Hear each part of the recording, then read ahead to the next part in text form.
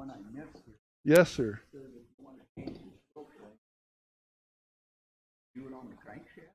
Yeah. So let's talk about that just a minute. That was uh, that was a um, and actually that will not change the stroke length. But that is that was the number one answer on the quiz. So um, you weren't the only guy thinking that. But it- let's uh, let's look at that a little bit. So this is our piston. And I guess while I'm on the piston, one other thing that I didn't really thoroughly go over, so I'm going to talk about it just a second while we're going by it. Um, on the on the top of the piston, most modern pistons will have three rings. There are some older pistons and some specialty ones that'll have four, and there'll be some specialty ones with less, but most will have three rings. And these top two are designed to hold the compression when we're compressing and our combustion with our with our uh, downward pressure. And this third one is called an oil control ring, and it's constructed much differently. And its job is to try and spread the oil evenly around the cylinder to keep it lubricated. Um, and so it's called an oil control ring. And here's some rings you guys can look at. So these two are compression rings that are made to hold the pressure. This is one of those oil control rings that spreads the oil to kind of keep it even on the cylinder so it's all lubricated. Um, but I got sidetracked a little bit. So um, then we've got our wrist pin right here and our connecting rod. You got to bear with me on the on the art. I'm I'm not an art major here, but hopefully you can get the point. So if we change the length of this connecting rod, um, we have changed the geometry of the swing. But what actually makes that stroke isn't the connecting rod. Now, there's a lot of engineering that goes into this length, and the length of that connecting rod affects how many degrees of rock it does, but um, doesn't affect the stroke length actually. Because if you look at, at the, we'll look at the crankshaft by itself. So this is our rod bearing journal. And if this is our main bearing journal, so right here in the center of this is our center of rotation of the entire shaft. And this center is the center of rotation of this end of the rod. The distance between this center and this center times 2 because we're moving that rod from this point around here to that same distance down. That's our stroke length. Um, and so if you want to change the length of the stroke, you change the camshaft, or excuse me, the crankshaft. Because that's what, same as in our bicycle, you know, our pedal from all the way up to all the way down, that's the, the throw in the crankshaft. And if we want to change how, how much leg action we're taking, well, you change the length of that arm on the crankshaft, which is distance from here to here. The other misconception that um, we've heard talked about is that you change the the stroke if you grind the crankshaft. Like the crankshaft we were looking at last week, we had taken 10 thousandths off of the whole surface of this, so it was minus 0.010. And this surface, but all the way around the surface, was minus 0.010. We didn't change the centers. The distance from center to center is still the same. So the stroke length is still the same. Does that make sense? That the distance from here, and then when that crankshaft rotates around to here, that's where we get our stroke length. Now, if you can um, kind of use your imagination a little bit, you can you can see that okay, if compared to this, well, I'll go ahead and leave that one up there. compared to it, if we had a connecting rod that was this long, um, and our stroke length was, let's say, two inches. So it's from the center of our rotation here, we're up two inches, down two inches. Well, we're also coming, as we come around, we're out here two inches, right? And we're over here two inches. Well, on a short connecting rod, to go over and back two inches, is this is going to swing a lot more um, radically. So we might come over here 20 degrees to the left with this connecting rod and 20 degrees over here. So when it's swung over connected at this point, it's pushing sideways against this skirt quite a bit. And likewise, when it's connected over here, pushing this way, we've got a lot of pressure against this skirt. When you lengthen the connecting rod, I mean, this connecting rod, it may only be swinging five degrees left and five degrees right because it's not doing very many degrees of movement here to get over here two inches and over here two inches. So that makes a lot more straight down pressure and a lot less side pressure on the on the uh, thrust sides of the piston skirt. So in the engineering of a lot of engines, the distance between the cylinder and the center of the crankshaft, they do a lot of engineering saying, okay, based on the pressure we're putting here and the distance here, how long of a rod do we need so that we don't um, have so much pressure here that we exceed what our oil film can lubricate? Because um, if you're there's a piston or two over here. Now this one, this scarring on this thrust was because the engine was run with an injector that was stuck open and that fuel washed all the lubrication off the cylinder wall. So this was a lack of lube, but this surface here is known as the thrust side. And the side that, um, you know, if the, if the if the um, crank swings this way when we're in our power stroke, because our power stroke's where we have the most pressure on top of our piston. Um, so if the if the direction of rotation is such that the, the crank swings this way during our power stroke, this is known as our primary thrust side because it's the side that's going to have the most pressure on it. And you'll find that in most engines there will be some means of circulating a little more lube to this side than this side. The, the lubrication circulation will focus on the primary thrust side. Because um, there again, then the on the opposite side going this way is going to be in your compression stroke. So during the compression stroke, you'll have pressure here. Um, but for example, in this particular engine, I can tell you there's 400 psi of pressure on top this piston on the average when you're in the compression stroke. When you're in the power stroke, it's about five times that much.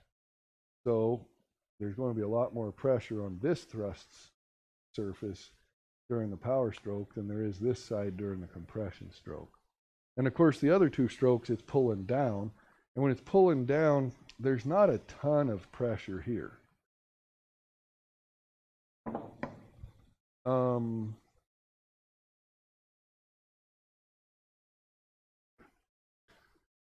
so typically in, in factory engines, the length of this connecting rod is engineered around the pressure on the thrust sides of the piston. Um, when guys go to modifying these engines, why sometimes they're, you know, in race applications, what they'll actually do um, is run a longer connecting rod and run a custom piston that has the wrist pin higher up so they can reduce that angle and reduce that side pressure. Um, and of course, there's cases where guys want to use different cranks and blocks that weren't designed for them. You know, one that was popular when I was a kid was to take a 350 block and a 400 crank and made them together and make a 383.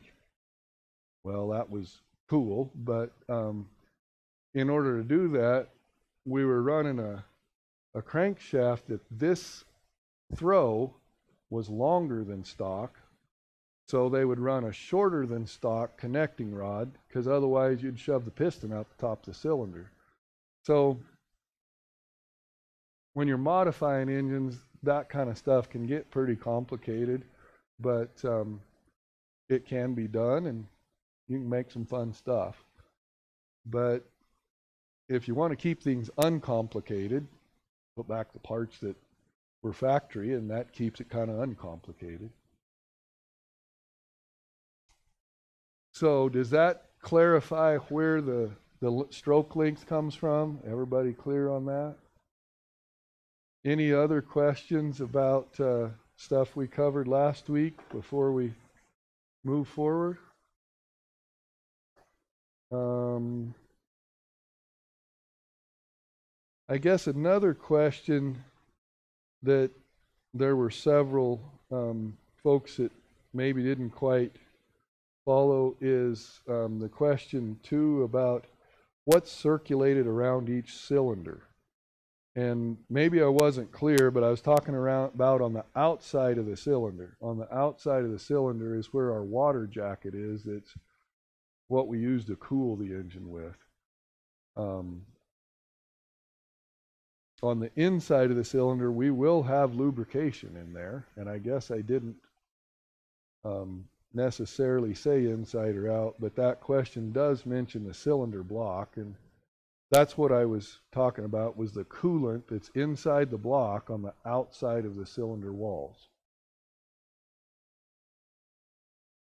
Um,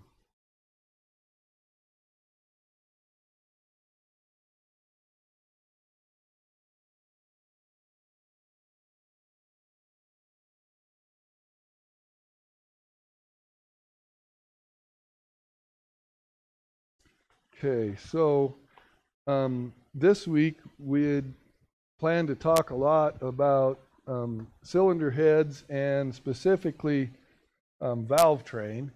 So we'll touch real quick on um, 70 years ago or so was probably the last time there was any automotive engine built that was a flathead. Um, but what flathead talks about, now this lawnmower engine is a flathead because the head is more or less just flat. Um, there's no moving parts in it. It's just a plate that slaps on there, bolts on, and seals the top of the cylinder. Um, you know, back in the 40s and 50s, um, and of course before that too, there were a lot of flathead engines. Um, and the reason uh, for building flathead engines is, well, there's less moving parts, and so they're a little cheaper to build. Um, the flow characteristics of them and the power characteristics of them are not as good as if we have. Uh, this is a pretty common for today automotive cylinder head. So we've got our valves in the head and we've got a domed combustion chamber. And our pistons are typically more or less flat. They may have a little bit of dome that goes up into there, but anyways, our valves are in the head. Um, so this is the head for that Toyota engine we were um, tinkering with last week. And uh, this is a this is the other half of the cylinder head I cut in half for that model that's on the stand.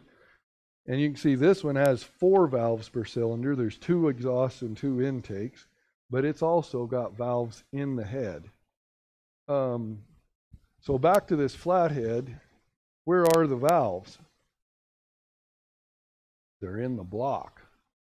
So you notice on this one, the valves are quite a bit different size. In this one, the valves are quite a bit different size. In this one, they're all about the same size. Any thoughts on why that might be? I'll give you a hint. In this engine, the big one is the intake valve, and the little one is the exhaust valve. So on the intake, we're we're sucking, we're opening it as the piston goes down to suck air into this cylinder. But the exhaust valve, when it's going to open, um, we've already had our power stroke and we've got a lot of pressure in the cylinder. So there's pressure in here blowing out. So when we've got a lot of pressure in the cylinder, it doesn't take as big of a valve to move that volume of air when it's pressurized. But when we're we're trying to take atmospheric air and suck it in, well, we need a little bigger area to get that volume of air in. Okay? This engine, same deal. Our big valve is our intake valve. That's where our intake air is going into our engine. The exhaust valve is the small one because we've got pressure to blow it out. On this engine, they're all the same size because we're force feeding the engine. This heads off of a turbocharged engine, so we're shoving the air in it. So we don't have to have quite as big a valve to get it in there because instead of sucking it in, we're putting 15 or 25, somewhere 15 to 25 psi of pressure, shoving it in. So we don't have to have quite as big of an intake valve when we're force feeding the engine. Um, so as far as valve arrangements go, like I said, in in automotive engines, this flathead deal, kind of, you know, boy, in the 50s was about the last time we saw any of this because it's just, it's just not great on on uh, performance and efficiency. Um, but it was a simple and uncomplicated and fairly economic design to build. Because as you can probably see, here's our camshaft, and here's our lifters, and the lifters just push directly on the valve. So there's very few parts in the valve train, and none of them have to go up into the head, and so it's pretty inexpensive to manufacture. So Joe wants you to see this. So this is our camshaft, and you can see it's the cams there are pushing right straight on these lifters, and these lifters are pushing right straight on these valves. So between the camshaft and the lifter, there's, excuse me, between the camshaft and the valve, there's one part, the, li- the lifter that's in between there. And there's not, what's that? Yep, and you're right, it is. Now this this plastic gear in this engine is part of the governor system, which the governor system it throws this weight as it goes faster and moves this lever, which helps control the engine speed. But there again, um, where there's not a lot of strain on that, well, the plastic gear is cheaper to make, so they can use a less expensive part. I think is part of the idea. But the gears that are on the crankshaft and the camshaft are huh, that cam gear is part plastic too, isn't it? Yeah. Um, so, like I said, that flathead system haven't seen in quite a while. Um, now the, I guess the, sorry guys, I didn't build that stand where it would come through that door. So if everybody had just come out in the hall a minute, can we look at that engine a minute? And this is, of course, an overhead valve engine because the valves are in the head. But this is what's known as a push rod engine. Um, so, so the valves are in the head, but the camshaft is still in the block. So this is the camshaft, and it's run off of this gear. Um, and if you guys want to look here, so the camshaft is basically a shaft that has a round journal that that uh, a lifter's running on, but there's a bump on one side. And when we rotate that bump past the lifter, it pushes it up. So watch that right there, if you would. So you can see this cam lobe coming around, and this is our lifter. And when that cam lobe comes up against that lifter, it pushes up on that lifter. That lifter pushes up on this push rod. The push rod pushes on this rocker arm. And the rocker arm's pivoting on this center shaft. So when the push rod pushes up on this side of the rocker arm, this side of the rocker arm pushes down. Because this is a four valve per cylinder engine, there's a what's known as a valve bridge here, and it's pushing these two exhaust valves open. So um, a couple other things we might talk about while we're out here. There's a lot of strategy involved in exactly how those cam lobes are designed because for different engines that are designed to run at different speeds and with different, whether it's forced induction, which this is a turbocharged engine, so we're forcing the air in it, or whether it's naturally aspirated, where it has to suck its own air in. There's a lot of different design characteristics to the profile of these cam lobes. And when they're designed to open the valve. Um, and we'll look at that just a little more. But um, so right there, we've got the exhaust valves open. So this piston is coming up on its exhaust stroke. Now, when it gets, yeah, thank you. When it gets to the top of its stroke, did you see that right as this exhaust valve was closing, this intake started to open? So that is most engines are going to have that. That's what's called valve overlap. So if you can rock your engine back and forth and find right there that happy spot where both of them are barely open, you know this piston's at top dead center. It's at top dead center between its exhaust and intake stroke. Um, and if you choose to, you can mark that spot on your one one of your wheels on one end of the engine, and if you go 180, excuse me, if you go 360 degrees, one full revolution of the crankshaft, this will be at top dead center again between your compression and power strokes. Um, so there's times when you're trying to figure out things that seeing that valve overlap can be really useful. But anyways, so we're right there at the point of valve overlap. So our exhaust valve is just closing and just before it gets totally shut, the intake is opening.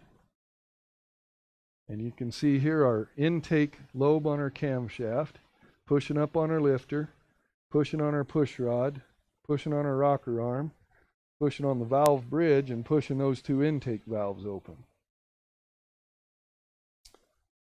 So this being able to flow this air in through these two valves and they design it where it kind of swirls in the chamber and then having a little bit of a swirling action as the exhaust comes out they get really good flow through this and you can really control it well but you can see there's a lot of moving parts.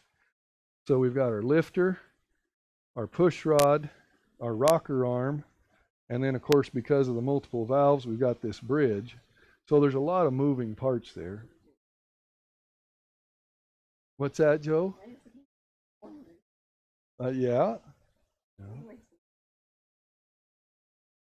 Right. So, um,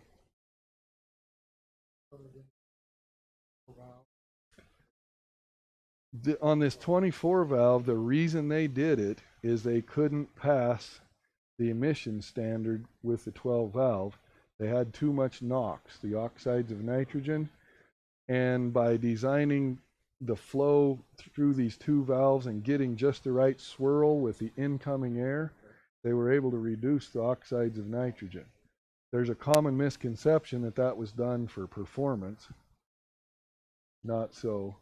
The this same engine with two valves um, you look at a flow bench and all the guys that are building extreme hot rods with this 5.9 Cummins, they're actually building it with the two valve. Um, because it's easier for them to tune and get get it to do what they want to. There's less less complicated on that side, but they're they were able to reduce the oxides of nitrogen emission by getting just the right swirl in that chamber. Um, and they were also able to reduce the severity of the initial combustion a little bit, which reduced the noise just a little bit. Um, but the same the same sudden pressure and temperature spike that made the noise was also making the oxides of nitrogen. So the two kind of go hand in hand. Couple other things to notice. Um, somebody watch that piston and tell me when it's at top. Which we got an intake valve open. Now, right in there. So, in this engine, there's a, is there a lot of space between that valve and that piston?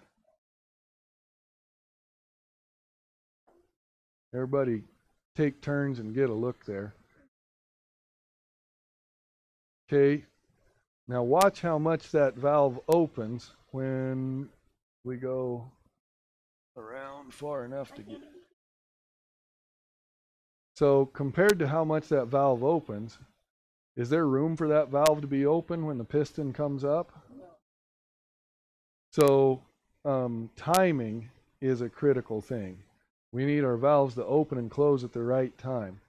Now, when you hear people talk about timing on engines, um, a lot of those conversations uh, are a little bit vague because there's two very important timing issues, and there's several others involved in an engine, but valve timing and ignition timing. So sometimes when guys are yammering about timing, they're talking about when the spark plug sparks or when the injector fires. And sometimes when we're talking about timing, we're talking about the timing of when the valves open and close. So um, there'll be less confusion in those conversations if you clarify which thing you're talking about the timing of. So typically, I try and say valve timing, injection timing, or spark timing, so we're we're not uh, creating confusion. There's there's plenty of confusion already without me making more, right? Um, so this would be what's considered an interference engine. Um, and what that term talks about is if the valve timing gets out of whack and the valve is open when the piston comes up, will the two collide and tear each other up? Um, and sorry we're having computer troubles. I actually had pictures of an engine Conan had tore down that um, one of the valves, it we're guessing because there was so much destruction, we don't know for sure, but we're guessing one of the valves had broken in the middle of this stem right here, and the bottom half of it had fell in the cylinder, and as the piston came up, it had jammed it into the head, and it had broke the piston and broke the head, and it had actually got wedged in there sideways and busted a hole in the cylinder wall, so that was a $12,000 repair. Um, now, the other thing that can cause that is if these keepers here on the top of the valve are out of position or if they fail. Um, rarely do those fail if they're seated all the way correctly when they're assembled. And we can look at those in here in a minute. But there are there are some engines, and I don't know of any diesel engines there again, because the compression ratio on a diesel is so high, we're going 18 to 1, 17 to 1. We're trying to take this much air and space, squeeze it into a little bitty space. But on gasoline engines, where we're going 8 to 1, um, in some cases, that combustion chamber is big enough that they are not interference engines. Um, so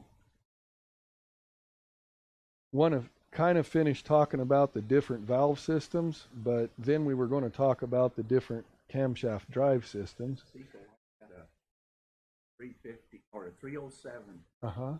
and those, uh, camshaft here fiber type Uh huh. A lot of those were. and that baby split, mhm. boy, talk about bent. Bent valves and push rods and oh man.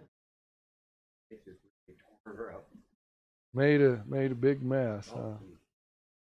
So what Rich is talking about is kind of along the lines of what I want to talk about a little bit next anyways. As far as driving this camshaft and timing it to our crankshaft, there's three common systems that's done with. And this one is gear to gear. You can see it's a steel gear to a steel gear. Now you notice this one's a lot smaller than this one. Why do you think that might be?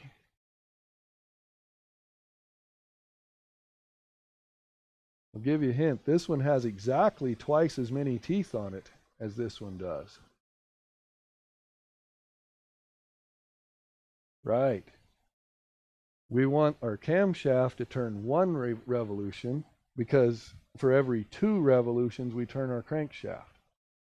So if you think back to our four strokes, our intake, compression, power, and exhaust, of those of those strokes, how many of those strokes did we want this intake valve open?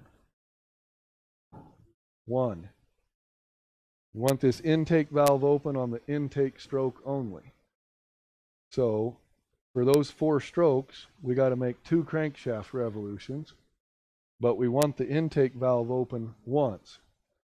So our camshaft has to turn half as fast as our crankshaft. So we're going to have twice as many teeth on this cam gear as on the crank gear. Does that make sense? Hey Chase, how you doing? Chase just came from football practice, so um any other questions on what you're seeing here before we go back and look at some of the others? Actually, it's not. Um, this is actually where you put an Allen wrench and turn this nut, and it's the adjustment, which is a good point, Wayne. Um, because there's so so much length and so many moving parts, as well as we're going across this gap between the head and the block, and there's variableness there. Um, there needs to be some adjustment in this system.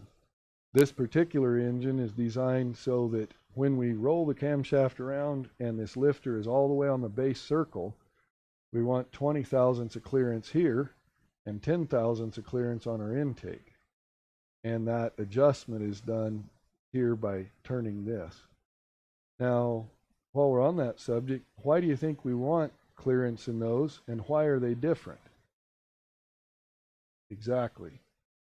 As this engine heats up, and this long push rod heats up and the stem of this valve heats up, things are going to expand and we need to leave some clearance to make room for that.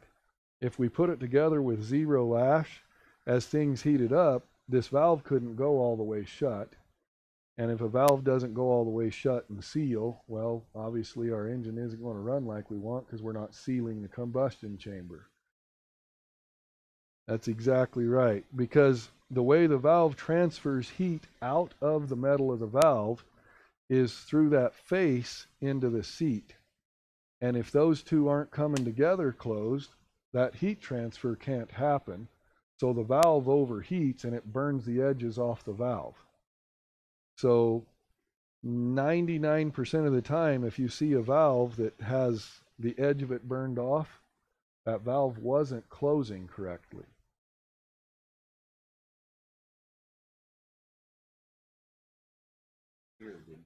Um, some of them did, and some of them were designed where if you needed to adjust that, you pulled the valve out and you ground some off the tip. That's the way a lot of, for example, Briggs and Strattons and Tecumsehs are currently built. Um, at the same time, like some of the Jeep and um, flathead Ford V8 and some of those, they actually had a, a way to make some adjustment there. Some of those Jeep engines had a way to make adjustment on the intake valve, but if you wanted to adjust the lash on the exhaust, you still had to grind it.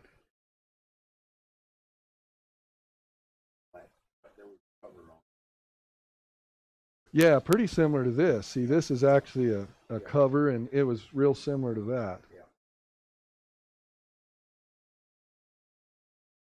How often?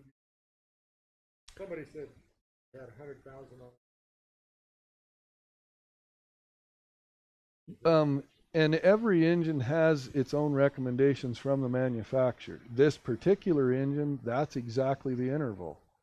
Um, it Cummins recommended on on this. This was what was known as the VP series of the 5.9, which ran 98 and a half to 02, and on it, Cummins recommended adjusting these every 100,000 miles. On the on the version just prior to that, the ones that were manufactured up through 97, they recommended doing it every 50,000 miles. On the ones made 2003 and newer, they didn't actually have a valve adjustment because the injectors failed often enough that they said whenever you're in there putting an injector in it, adjust the valves. Um, 03 was one of those years that they went to a completely and radically new injection system to pass emission standards. And that injection system is very unforgiving about water in the fuel. And actually, water flowing through those injectors didn't damage them so much as water setting in them when the engine wasn't running. There were some incredibly small tolerances in those parts, and a little dab of a rust pit that was two thousandths of an inch deep would make the injector completely useless. And so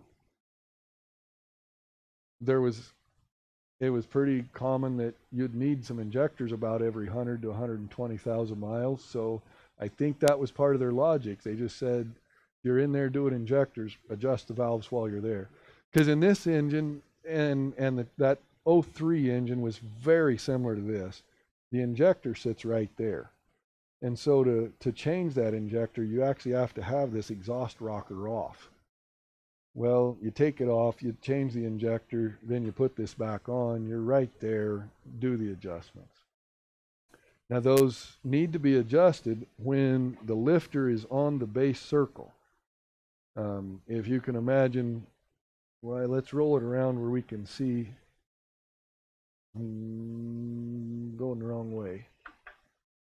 If if this lobe is pushing on that lifter, well, it's got it's where the valve should be partway open.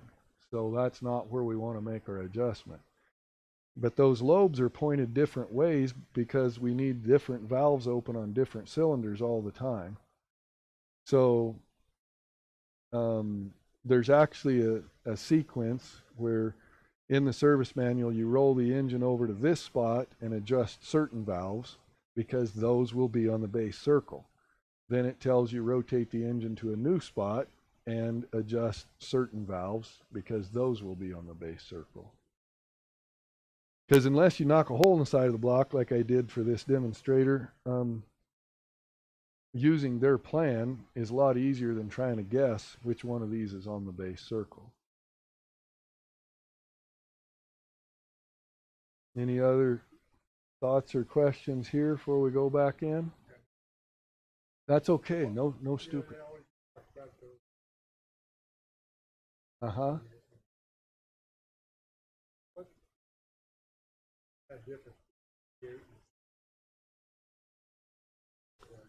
Um, and I'm not sure that the V8 versus the 6 is really where that comparison comes in as much as the camshafts they used in those.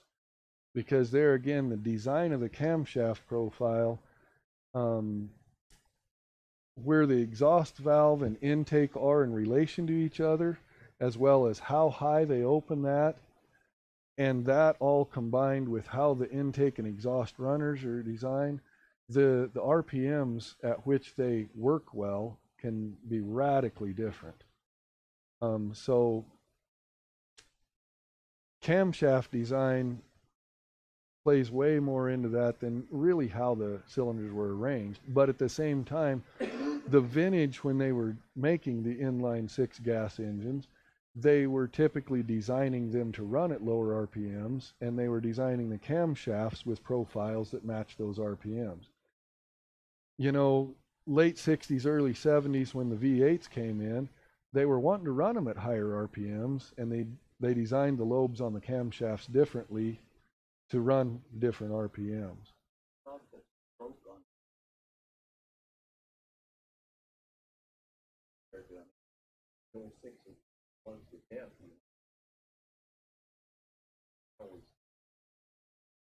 No, I agree. Stroke length does play into that. Um, and the longer the stroke, the more. There's two quantities that are talked about a lot as far as how much power an engine creates horsepower and torque. And I've heard it described this way, and I think it's a good description that horsepower wins NASCAR races and torque moves heavy loads. Um, and so if you want a high RPM, um, high horsepower engine, typically you're going to run short stroke and high RPMs. If you want to make a lot of torque to move heavy loads, you're typically going to run a long stroke compared to the size of the bore. Um, and the the stroke length definitely is you're exactly right a good part of that. And the longer stroke engines you can't run them as high rpms because it takes longer to move all those parts all that distance. But the characteristics of how they flow um, really tends to make a lot more torque but um, the stuff that's going to accelerate quickly you know talking about 0 to 60 acceleration times and stuff um, you keep the short length stroke, you keep the short stroke length and run them higher RPMs and they'll accelerate faster, but not with a heavy load. So there again, you look at, okay, semi truck engines. Semi trucks are built to move 80,000 pounds. Um, one of the ones that I can think of right offhand, it has a five inch bore and an eight inch stroke. So the stroke is really long compared to the bore size. On the other end, one of the popular engines in NASCAR is a 327 Chevy. It's got a four inch diameter bore and it's got a three and a quarter inch stroke. So the stroke is short compared to the bore size.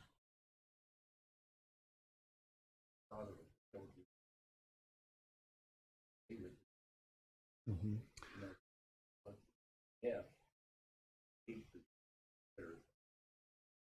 Gears. Right. And there again, a lot of the V8s are they're designed to run more RPMs and more horsepower, but not as much torque, and they tend to be a shorter stroke length. Well, let's go look at a couple other things in here. So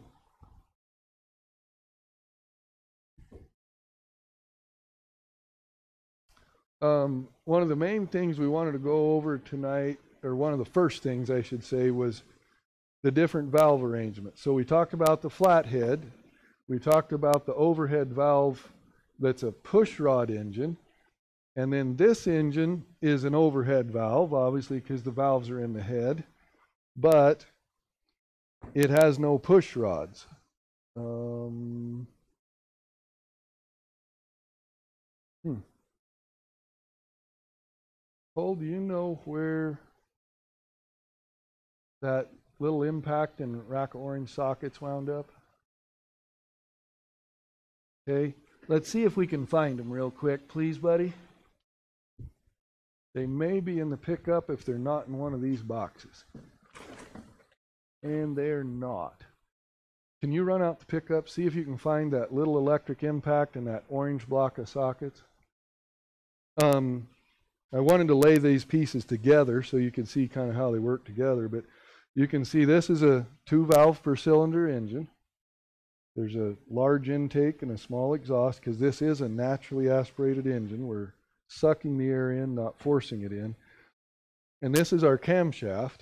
Um, so you can see the, the journals that are perfectly round are the ones where this shaft is supported in the engine and the ones with cam lobes are actuating valves. But this camshaft is mounted in the head and there's no push rods. So this is a design known as an overhead cam design. Um, in overhead cam engines, there are some arrangements where the valves are all in a row and these valves are right. Wow, that didn't feel good. Um, the valves are pushed on directly by the cam. Um, in this one, uh, to make it flow the way the engineers wanted to, the valves are offset So it's intaking on this side, exhausting on this side. They lean the valves that way. And we're using rocker arms. So we have a rocker arm. This pad runs, thanks Cole. This pad runs on the camshaft and this, there again, we have an adjustment there on the tip of the rocker that pushes on the valve. So we've put the camshaft on top of the head and we've reduced the moving parts in that part of the valve train some is we don't have a lifter and we don't have a push rod, but we do still have a rocker arm. Um, there are also some designs that have the valves offset like this, but there will be an intake cam on top of the intake valves and a second exhaust cam over here on top of the exhaust valves. And uh, you'll hear that advertised as a dual overhead cam engine. Well, sounds good in advertising, right? Um, but there again, I'm not convinced that it's a great thing because we've gone and increased the number of moving parts again. But most of the engines that are doing that um, are actually variable valve timing engines. So what they, the reason they're doing that, they've got some overly complicated, highly sophisticated, prone to failure sprockets on the front of their camshaft that are controlled by the computer and they can change the timing of the exhaust camshaft separate from when they change the timing of the intake camshaft. Um, so that can be managed for performance reasons or it can be managed for um, emission control reasons or some of both.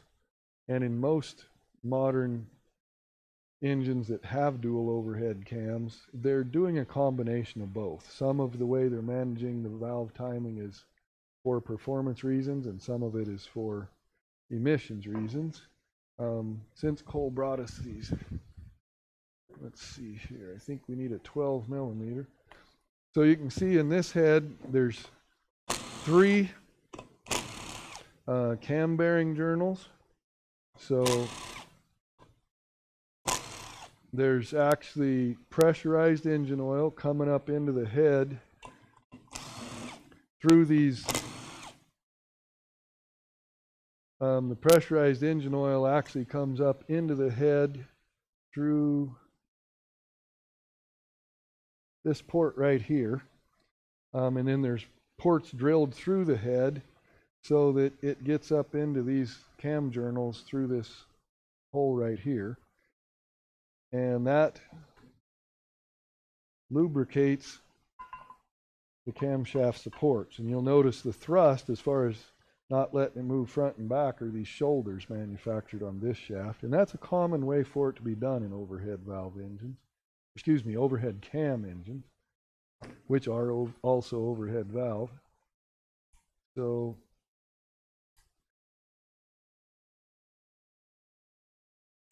there's our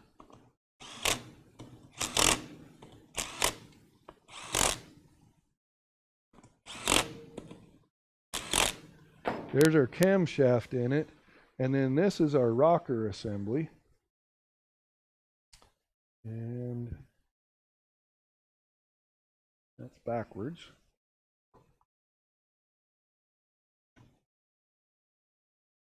And on this particular engine, what holds the rocker assemblies on is the head bolts. So there's a long bolt that goes through this rocker pedestal, clear through the head and into the block.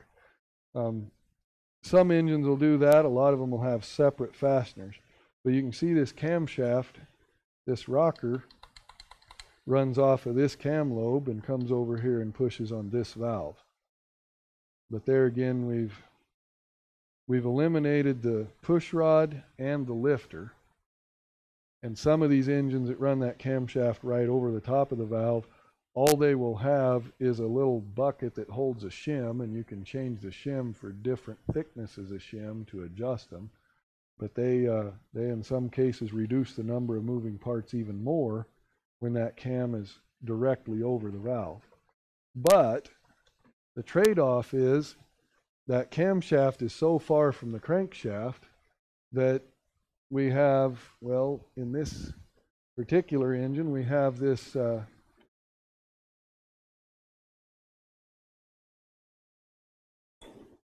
we have this timing chain that's this long.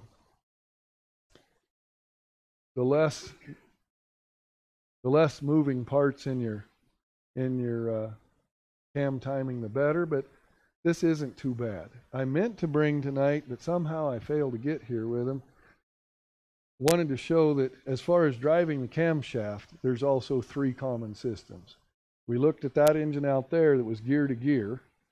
So a gear on the crankshaft, a gear on the camshaft, directly driving each other. This is a chain drive. This is a double row chain, um, which there, boy, a lot of engines have been built with chain drive, and the- the vast majority of those are a single row chain.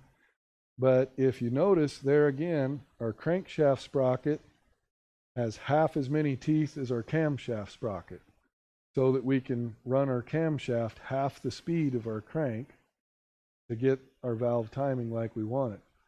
Um, this particular cam sprocket is made adjustable so we can loosen these and move all that so we can precisely dial in the timing of our camshaft to our crankshaft. That's not typically done in factory engines, um, but this engine, we're building it with a little bit of a performance camshaft and wanted to be able to precisely time it, so we've bought this aftermarket adjustable cam sprocket. The factory one had no adjustment in it. Um, the third common system of driving our camshaft is a belt. Um, and I had some belts that I meant to bring this evening, and somehow I didn't get them in the pickup. But they're typically a flat belt, about that width, and they have cogs or teeth. I guess they would be a toothed belt, and instead of a sprocket, they have what's called cogs, which is more or less a sprocket, but with notches that are made to match the profile of the inside of the belt. And that same deal, the, the cog for the camshaft will be twice the size of the crankshaft one, so it runs at half this half the speed. On chains like this, you can imagine running this at high speed. There's a lot of whip here in this chain. So on timing chain setups that get very long, there'll always be guides that usually some kind of a plastic material that runs against this surface and this surface. And a lot of times there'll be a tensioner, some kind of either a spring or this particular engine has a little cylinder there that runs oil pressure in it that pushes here to keep the slack out of the chain. Because you can imagine any little bit of wear to the sprocket or any little bit of wear to the rollers in the chain, well, you get some slack. And actually, in a brand new one, there's a little bit of slack. So there'll be a tensioner on the one side. Um, belts, same deal. You'll have a tensioner for the belt. Because as belts stretch and wear, um, you'll need to take up the slack. Um, if you're ever looking at one of these belt or chain drive systems with a tensioner and you're wondering which way the engine turns, um, it'll always turn the direction where the slack is in the side where the tensioner is.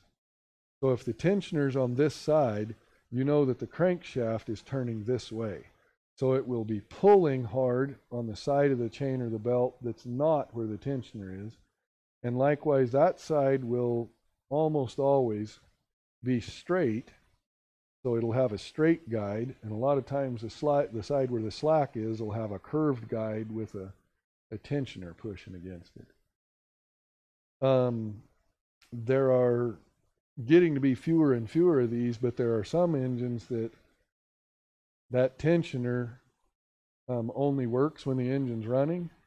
And if you try and turn the engine backwards, um, you can actually make this skip and you'll get the camshaft out of time and things go real south real fast. Um, so there's pros and cons to all those systems. Um, as far as camshaft drive systems, you're running a chain or you're running gears like that, they need to be lubricated. Um, the belts There's a rare exception to this, but most all the belt systems are dry. So you'll actually, on your camshaft and on your crankshaft, you'll have a seal, and then you'll have your cog that your belt runs on. So the belt will run in a, in a dry atmosphere most often. I only know of one engine that's an exception to that. I know of one Deutz diesel engine that runs a wet belt, but every other belt drive engine I'm aware of, the belt is run dry. Um, the belt is much lighter, so you have less mass spinning than if you have a chain. And so there's there's a vast majority of the modern overhead cam engines, when the cam is on top of the head, that will be belt drive. So what happens if that belt dries out and cracks and breaks? Yeah, yeah. Because then your camshaft stops spinning and your valves stop moving. But what happens to the crankshaft? It keeps spinning for several seconds. Well, when you're, say your engine's turning a thousand revolutions per minute and it takes a fourth of a minute for that crank to stop spinning, well, that piston probably hit that valve 250 times, right? Now there are um, some engines that there again we talked about are non-interference engines. They're typically um, every one that I know of is going to be a gasoline engine that's two valves per cylinder. Because when you get compression ratios high, like you do in the diesels, there's not room enough for the valve to open with the piston up. And there again, you get into four valve per cylinder engines, there's not enough room for all that to happen. So, but there's actually charts that um, guys that deal with timing belts a lot will have a chart and they can look up this year, make, and model of engine and it'll tell them whether it's an interference engine or not. So if you call them and you've got a broken timing belt, they can look on their chart and know whether to tell you, okay, we can put a belt on it, or whether they tell you, you need an engine. Because nine times out of ten, if if the piston hits the valve, it's going to bend the valve over sideways and damage the head. And in many cases, broken pieces are going to circulate between the piston and the block, and you pretty much trashed it all. Um, there are some rare cases where, okay, all it did was bend a valve, and you can take the head off and have the machine shop fit some new valves to it and put it back together, but you don't get that lucky very often.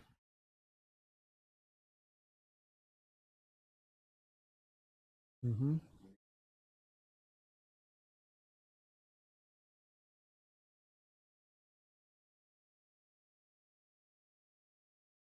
You lucked out. That one is a non-interference engine.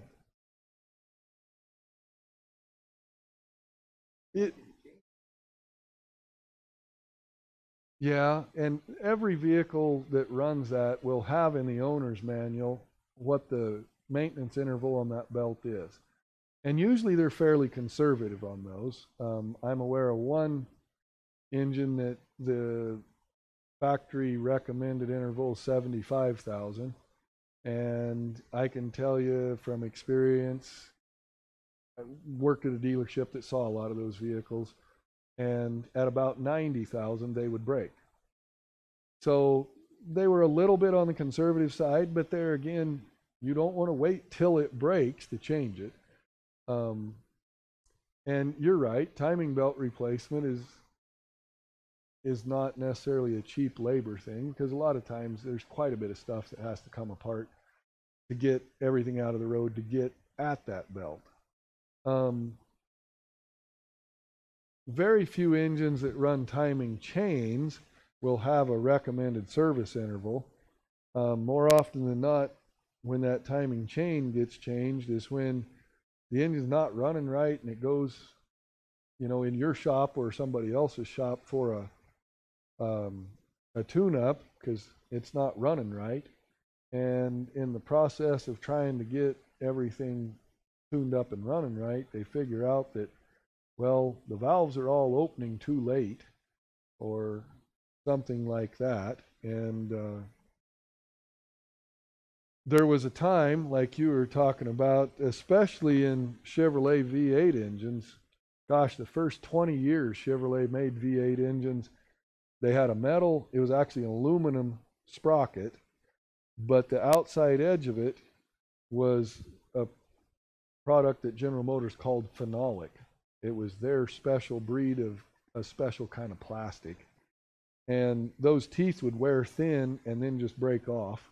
And when they broke off, of a, and they, it was on the camshaft sprocket, the crankshaft sprocket, um, the smaller one, uh, on those engines was typically steel.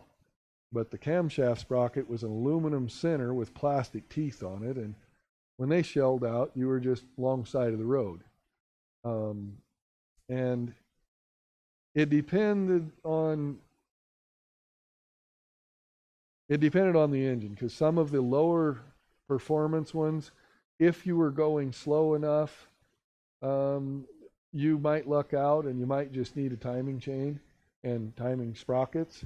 Um, but the ones that were a little higher compression and higher performance, and and there again, if you were going a little higher RPM when it happened, uh, it was pretty common to just wad all the valves and bust the heads and just trash things.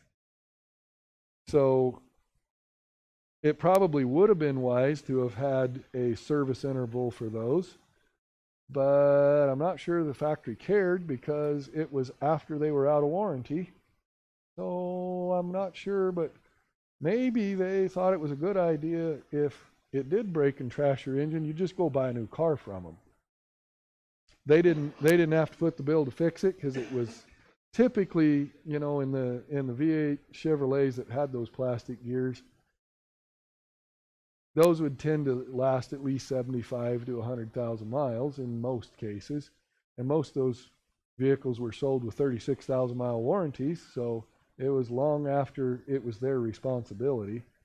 Um, and I hate to say that, but sometimes it almost appears that vehicle manufacturers have a strategy to try and crowd you into buying a new car. Um, don't know that for a fact, but it sure seems like it.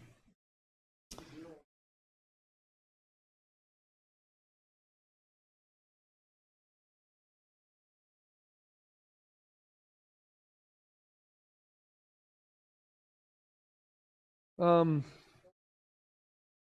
sure, sure. Everything on the internet's true gospel, right? Um, I don't know. I would say that the life of the diesel pickup engines is dramatically less than it used to be. Um, but there again, well, like we were talking about a minute ago with those 03 engines, that the injectors failed often enough. Well, one of the ways those injectors fail is they stick open. If they stick open and you don't realize what's going on and turn the key off now, you wind up with, you know, a piston that looks like one of these. And to pass federal emission standards, they've all had to go to some pretty sophisticated fuel injection systems. Those sophisticated fuel injection systems are pretty finicky about contamination. Um, water, even more so than dirt, because honestly, dirt's not hard to filter out. Um, the water tends to be more of a problem. And okay, they're also trying to control the tailpipe emissions using exhaust gas recirculation, which is um, a system that takes exhaust that we've started heading down the tailpipe and we cool it off just a little bit and stuff it back in the engine's throat. Well, stuffing that black sooty exhaust back in the engine's throat sure can't help the life of the engine. So between the, the overly sophisticated fuel injection systems that are finicky, and if they fail and you don't realize they fail, you can wipe out an engine. And the exhaust gas recirculation that's stuffing trash back in the engine, it's definitely decreased the life expectancy of the diesel engines.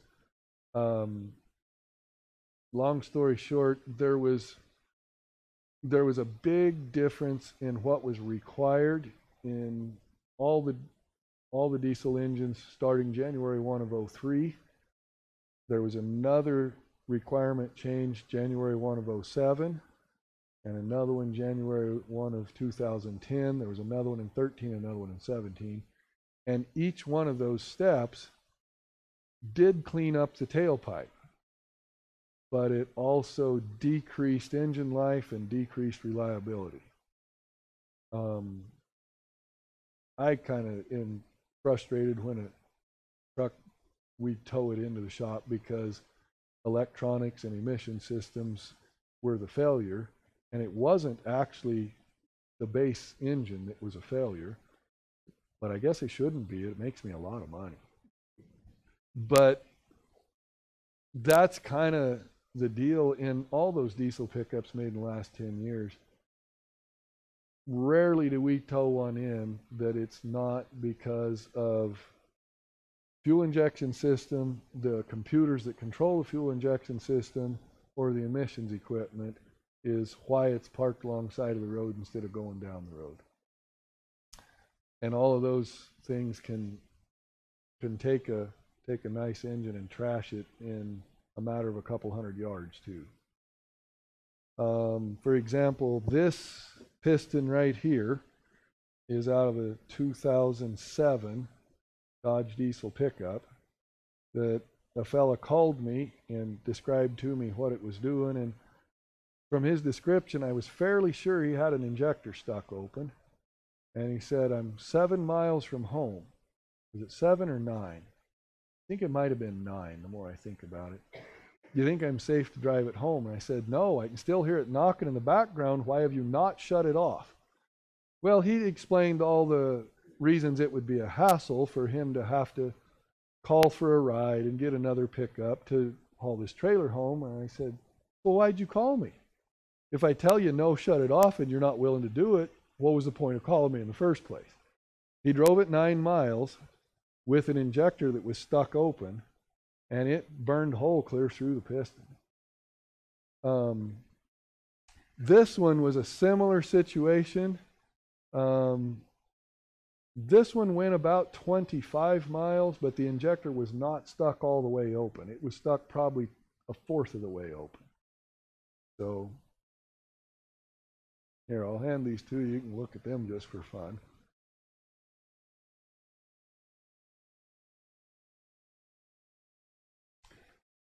But um, there again, because of the different characteristics, okay, in a gasoline engine, if an injector sticks open, it's going to just flood the engine out. It won't run. And if it does run, it'll barely run well enough to get it to the side of the road.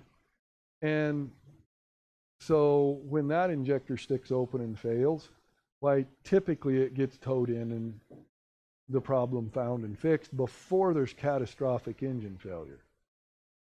In the diesel engines that are compression ignited, because we talked about that, right, where the compression 18 to 1 we're bringing that cylinder pre- or the pressure is concentrating our heat energy and bringing that cylinder temperature up to around a thousand degrees and then we're injecting the fuel that it ignites as it comes out of the injector.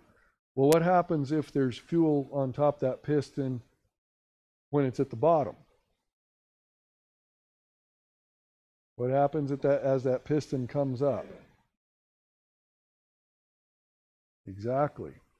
When you're typically when your piston's about two thirds of the way up its compression stroke, there's enough heat and pressure to ignite that fuel, and you have combustion on top that piston while the piston's still being forced up by the rotational energy of the rest of the engine. Well, that's what creates that kind of chaos is combustion on top that piston while it's still traveling up. And see in the case of some of those, you'll there wasn't enough oxygen in there to complete all that combustion before it started traveling down and so it's still burning um, way way before and way after when it should be and okay, we've got 10 times the amount of fuel in that one cylinder that it should have, and it just melts the tops out of the pistons from excessive heat. Yeah, um, it depends. In some cases, I mean, it'll trash the surface of the block. Um, if I remember right, that one, we bored it one millimeter over and it cleaned up and we put oversized pistons in it. And um, that one, it actually cracked that cylinder, it cracked the cylinder wall in four places. Blocks scrap iron. There's nothing you can do with that. Um, because the the the repair sleeves for that engine are designed to restore the surface, but they depend on having a complete cylinder around them to help contain the pressure. Well, when that cylinder around them has four cracks in it, it's not going to contain that pressure, and so it's considered a discard block, which gets expensive. So, um, So our cylinder heads, wanted to cover a couple of things. Uh, like we've talked about, they'll have intake and exhaust valves. Now, because they're the top on our combustion chamber where we're having all this combustion, there's a lot of heat there. So we're also going to have water passages flowing through them. And some of you have looked at that block, but I, I tried to paint all the water passages green in it. And you can see how that water is designed to circulate over the top of each one of those combustion chambers. And like we talked about, we'll have oil flowing up through them to lubricate these parts on top.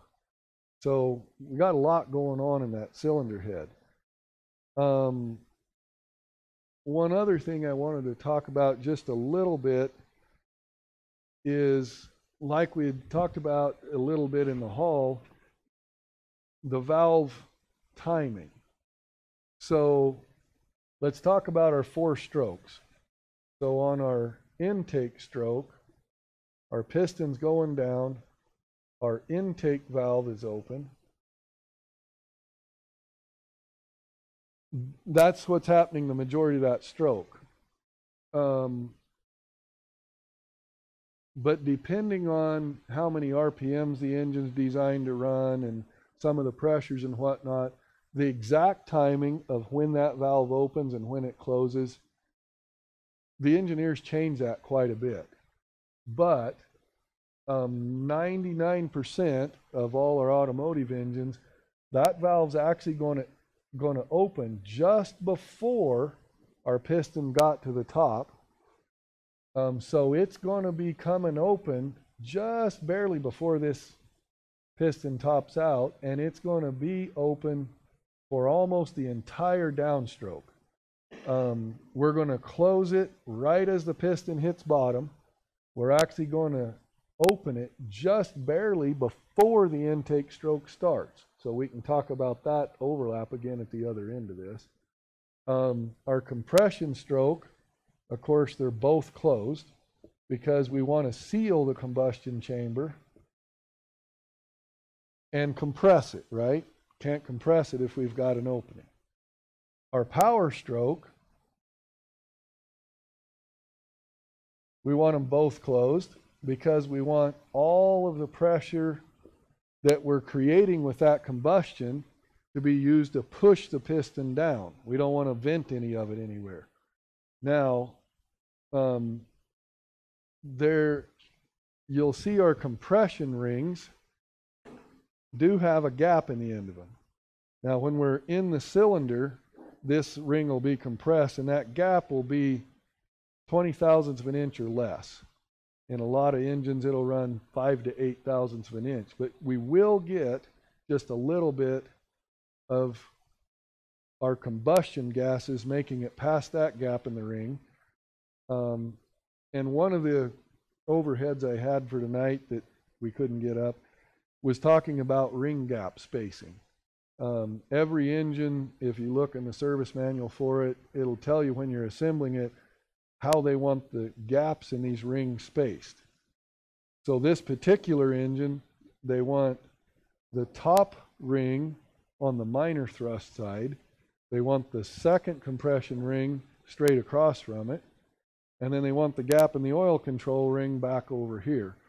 So the idea is the little bit that's getting past the rings, it'll get past the first ring over here, but it's got to travel all the way around the piston to get past the gap in the second ring on the opposite side.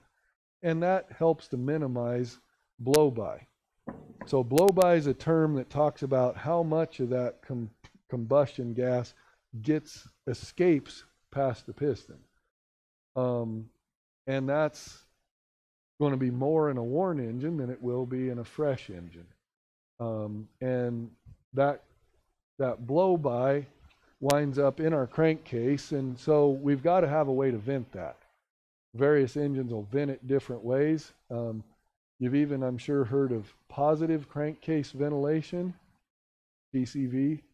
That's a system that instead of just venting it and letting it out as it wants to go, we actually try and suck it out. Hook a vacuum hose to the crankcase and kind of control it a little bit, but actually put the crankcase under a little bit of vacuum so that that because the the combustion gases you, they are acidic and you get too much of that combining with your oil you've got some acid that can be hard on our bearings and stuff. So we want to kind of get that blow by out. But anyways other than the blow by we're trying to and even even with the rings we're trying to seal that as much as possible so we want both our valves closed. So then on our, our exhaust stroke,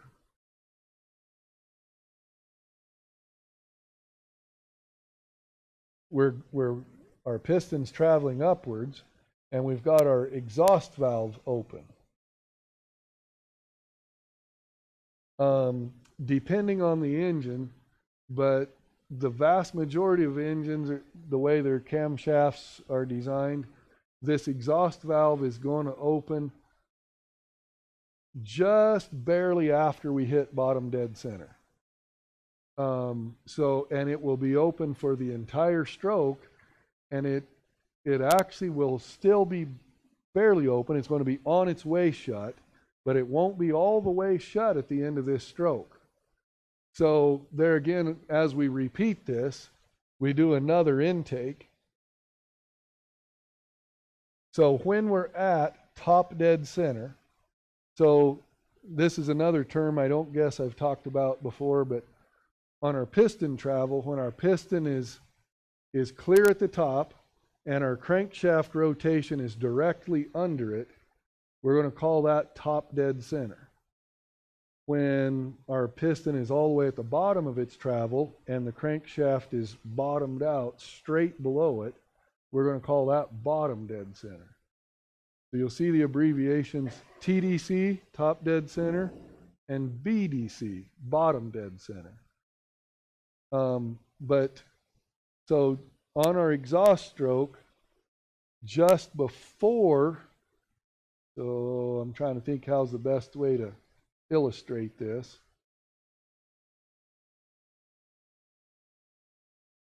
I guess I drew the intake on that side, didn't I?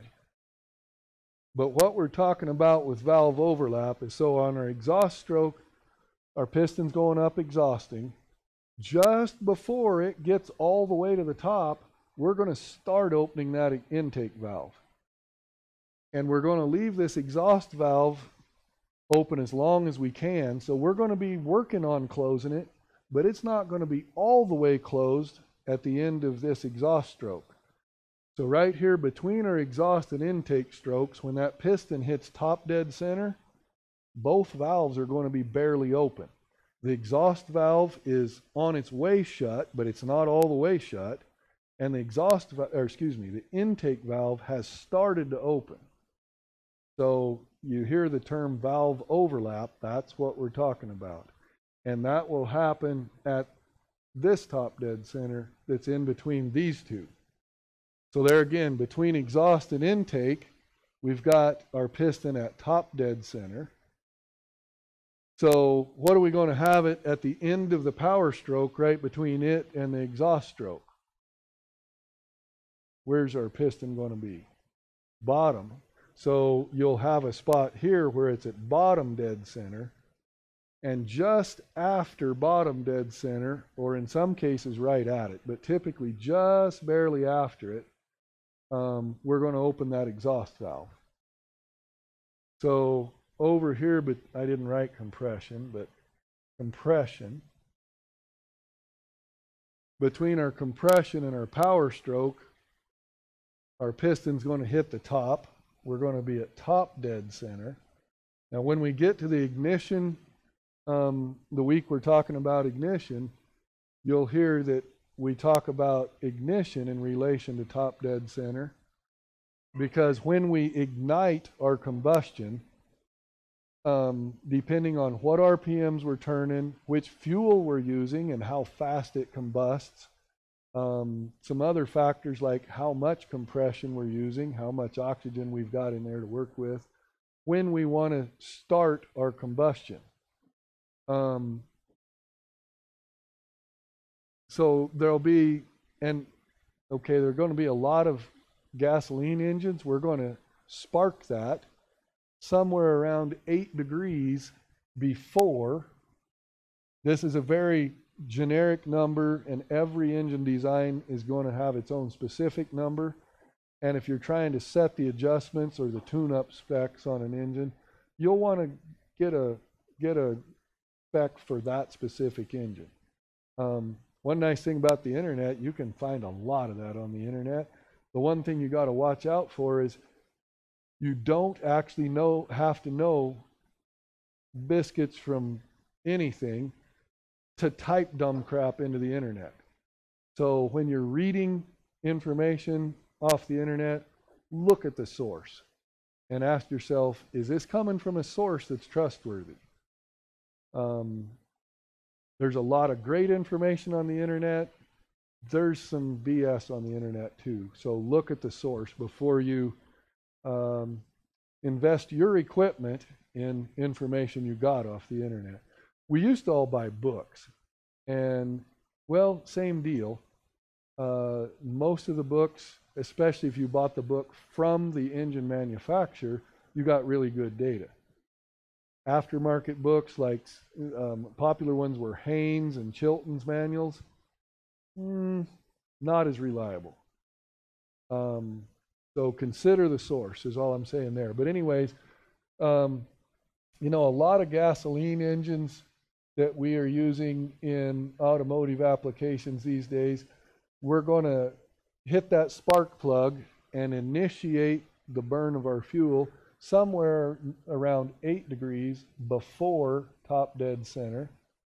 Um, on our diesel engines, um, and on both gas and diesel engines, most all modern engines are going to vary this depending on load and RPM. So as the RPM changes, the the ignition system is going to change when it sparks it or when it injects the fuel. But these are base tune-up numbers that are typically at idle with a lot of the adjustment stuff disconnected. This is going to be what's considered a base number. Um, a lot of our diesel engines, how do we start the burn on a diesel engine? We don't have a spark plug. How do we start the burn on our diesel engine?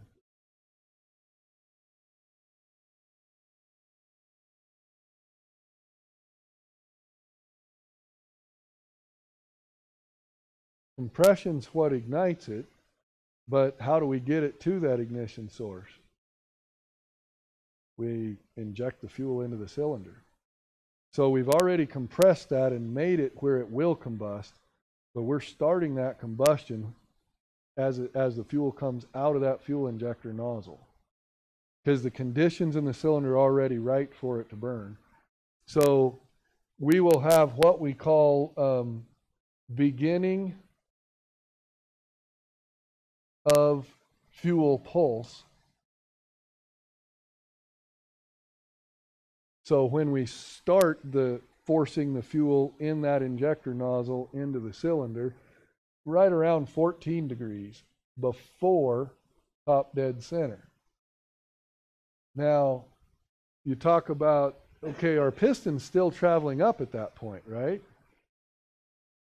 This combustion process takes time we're running these engines, okay, at idle, we're running them at, say, 800 RPMs. That means that that piston's coming up 800 times in a minute. Um, when we're going down the road, it's not uncommon to run them at 2,500 RPMs. So that piston coming up 2,500 times in a minute. Um, it's hard to think about in some cases things that are happening that fast, but because we're talking milliseconds, but it actually takes a little bit of time for this combustion process to happen. And we want it to happen, you know, and start building a lot of pressure right after we're at top dead center. So we need to start the process just a little bit before we want it to actually have the big bang. Does that make sense?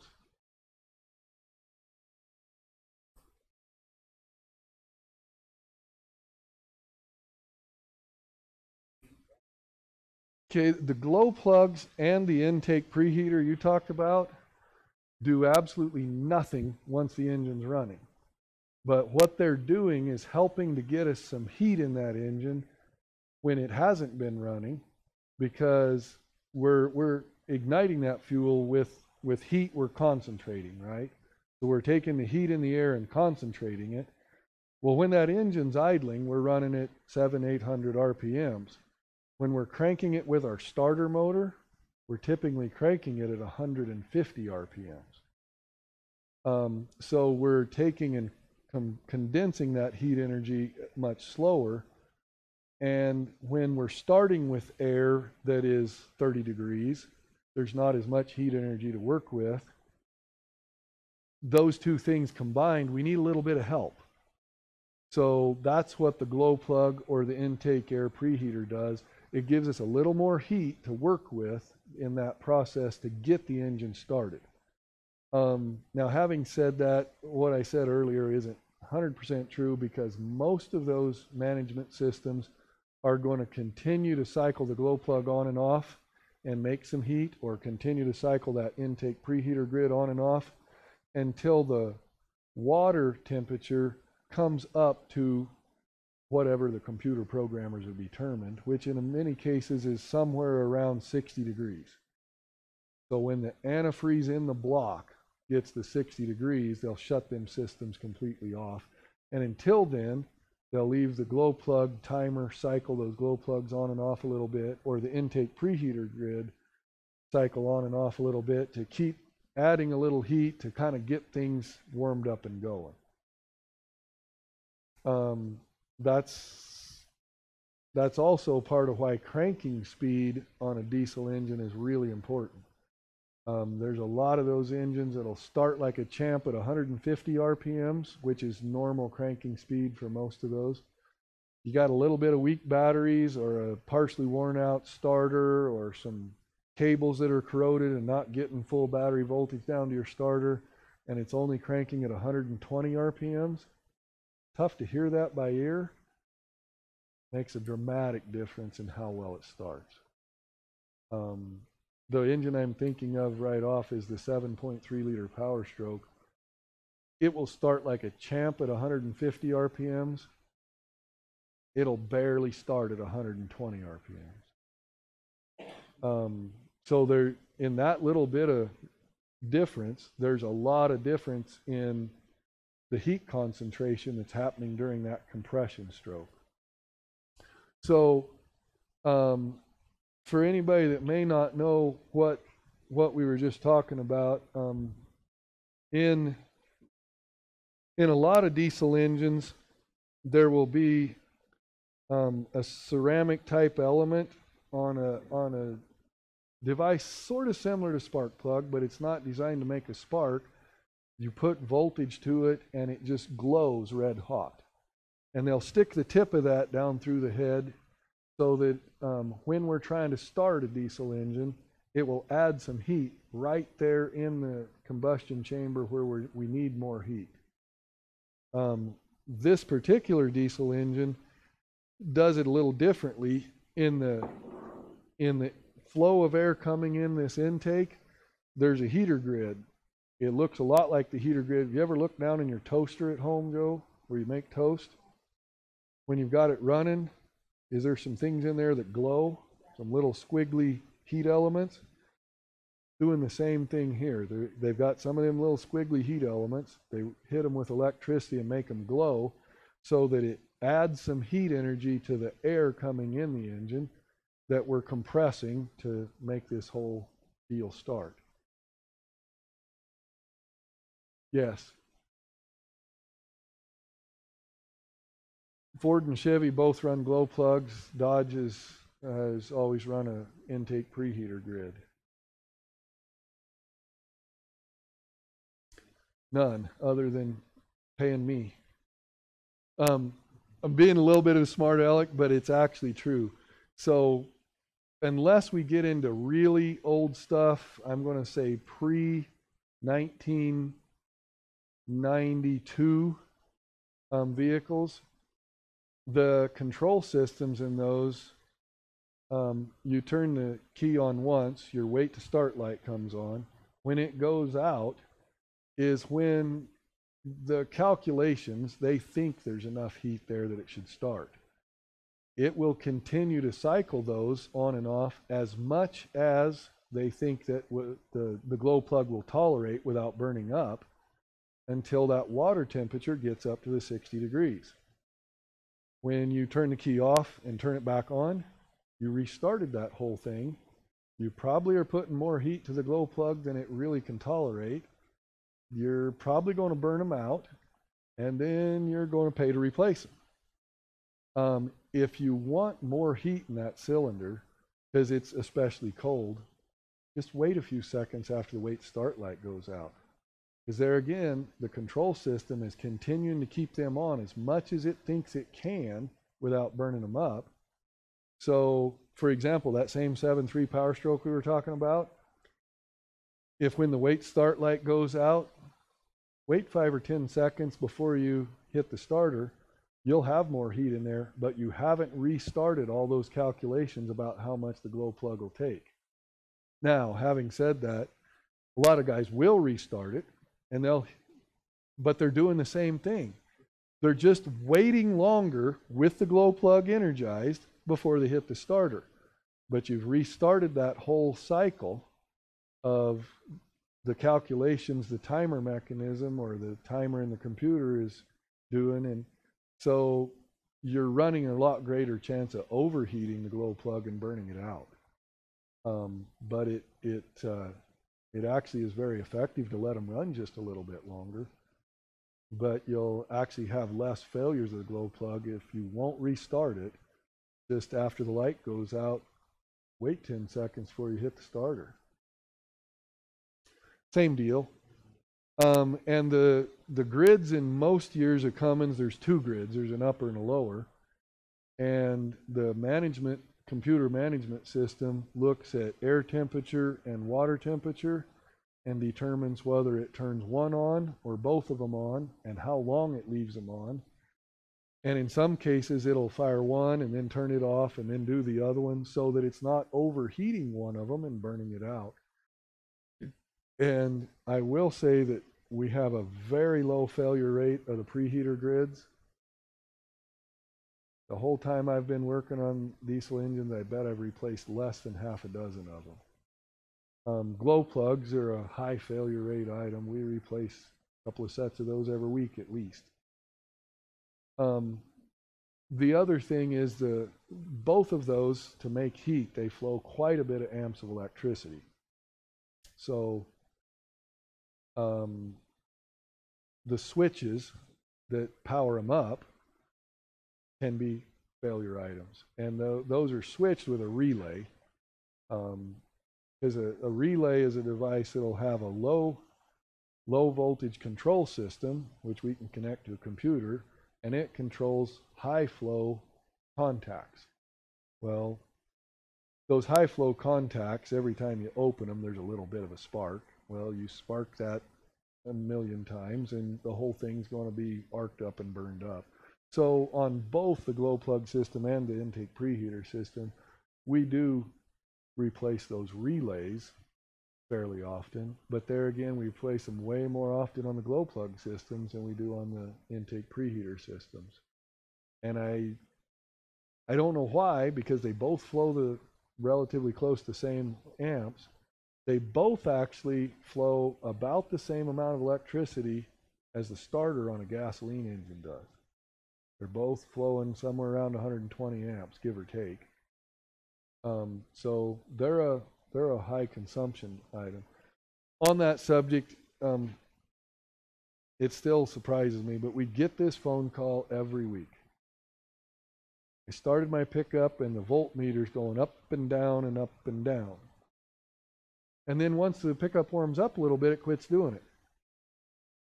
Voltmeter's going up and down and up and down because the control system is turning the glow plugs on and off and on and off until the water temperature gets up to 60 degrees.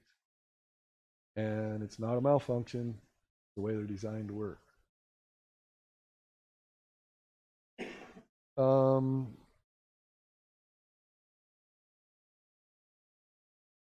well, fellas, I'm sorry I ran late again, and um, I think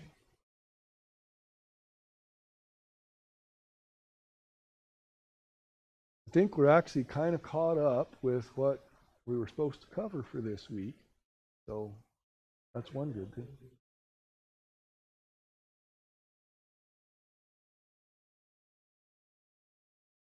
hmm The opinion is we've got that, that whole combustion process advanced too much before we get the piston in a position to go down. Because of course, when we've got the crankshaft directly under the piston, it's locked in place. And we need that crankshaft um, pin to be slightly past center so that the, it can be pushed down when the main surge of combustion happens.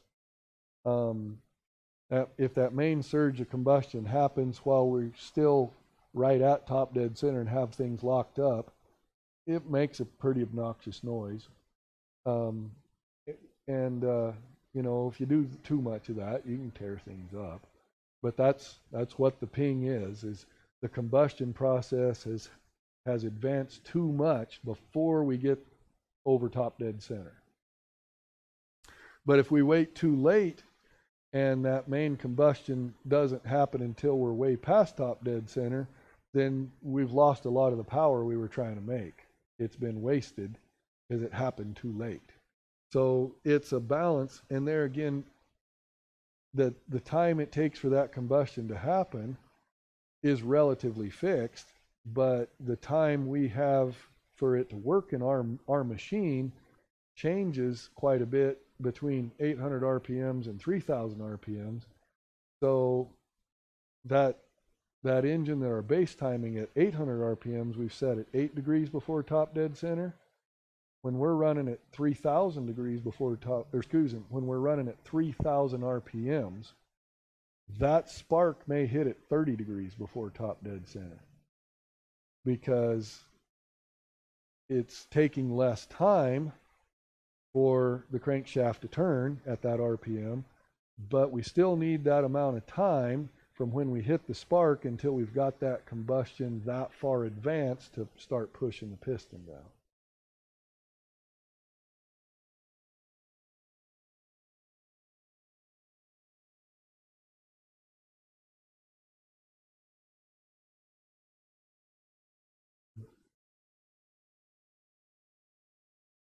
Right.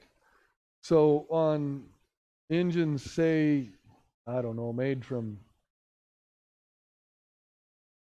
probably in the 50s through the mid 80s, where that spark timing was all tried to be varied mechanically, um, there were two common advance systems. And one of them was a mechanical advance where we had some weights. And the faster you spun that shaft, the more the weights tried to swing out and they worked on a little arm and so the more they slung out the more they would advance the cam that was in the distributor not the valve cam and change the timing. Um, so that was known as mechanical or centrifugal advance. Then there was also um, in some cases just a lever going to a vacuum pot and they would use some vacuum to move that lever and rotate the the point base or the the pickup base in the distributor to change that timing. Um, starting start, started phasing in in the mid 80s, and by the mid 90s, all gasoline automotive engines, that timing advance was calculated in the computer, and there were there was no. And I guess kind of in the middle there is where we came up with what was called electronic ignition. So there would be a small computer, and it was connected just to the distributor, and it might be connected to an RPM sensor. Um, a lot of the later ones were, and that computer was just for calculating when we want the spark to happen, and of course it would trigger the coil. Um, but like I said, it kind of phased in, but by the mid 90s, that function was done in the main engine control computer that also can calculated fuel timing and fuel volumes and the spark timing all together in, in one box. And prior to that, well, we were running, okay,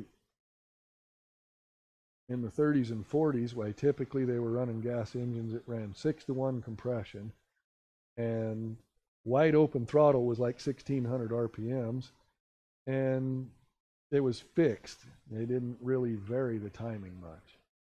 Um, but there again, that was a big thing to add performance to an engine was to be able to vary that spark timing.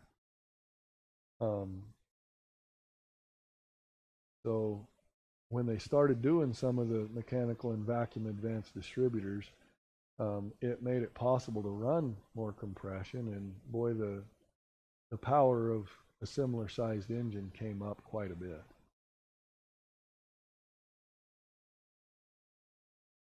That was about the same time they, you know, adding more power because we could vary that that spark timing. Um, we could run more compression. Well, we got to put more bearings on the crank. So that's when you saw crankshafts instead of having a main bearing every other cylinder, they had one in between every cylinder. Um, any other questions, or I was just going to pass out the quiz. Yep, thank you, Cole. And